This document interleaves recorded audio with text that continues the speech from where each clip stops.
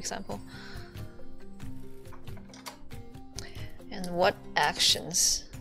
Um, that action I made it to copy over a new page and adjust the levels. Because every scan I make, let me scan it again.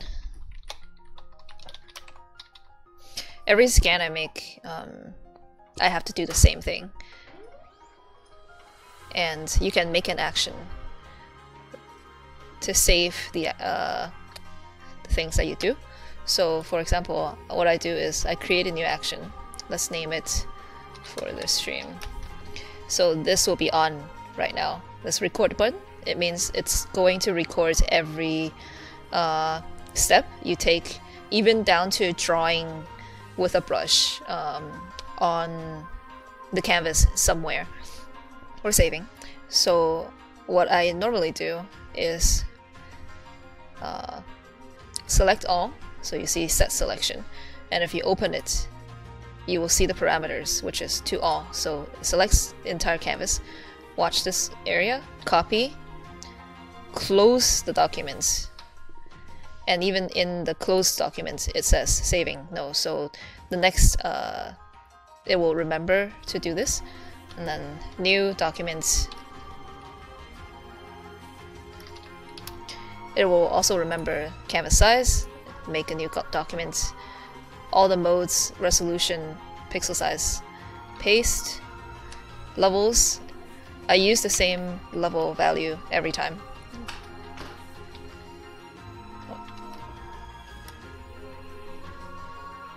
Oh, right. 0.25 and 220. And this is, I, I know this from having tried it in previous pages. Um, it's not like a set value that will work for everything, but it will it works for my comic pages. And again, okay, and then it will set the levels action. And I stop the recording, and now next time I scan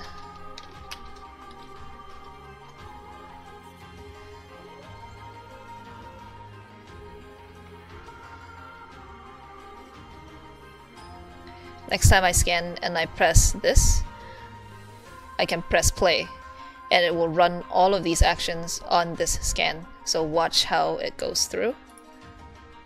And then I'll end up with a new, basically identical um, version of uh, what I just did. And this is useful because every page I draw, I have to scan it and do the same thing. And uh, I can just scan four pages and then run this through four times and save five minutes. Or other actions that I have, like saving a single page um, to the web format, which involves like a shit ton of uh, steps. It turns my big page into something small like this. It adds a watermark. It saves different language um, languages. It has a blank one, one with English, and one with Chinese, which I didn't uh, set. And then I have another action that will save three separate of these JPEGs to three separate folders. And this is phenomenally important because once I go through the entire book, it will be like 200 pages that I've just edited, and I have to update the uh, websites with new versions. I don't have to sit here for two hours doing the same thing to every single page.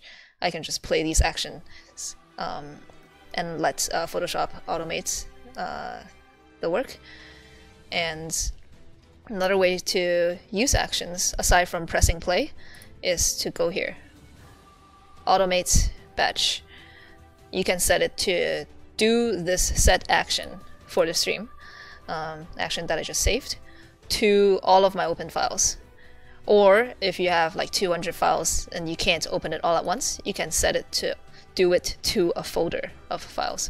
So um, again, for processing all 200 of my pages is very useful because I can't possibly open 200 fully toned 50 megabytes each um, high-res 300 dpi 400 dpi comic pages my computer will explode um, but it will run through every file in that folder uh, once with the same action and it'll make sure make sure that I remember every step, like putting the um, watermarks, and it makes sure that I don't make mistakes, um, and it most importantly saves me a lot of time while I can like go walk off to get something to eat while the computer does this work. So um, yeah, actions very useful.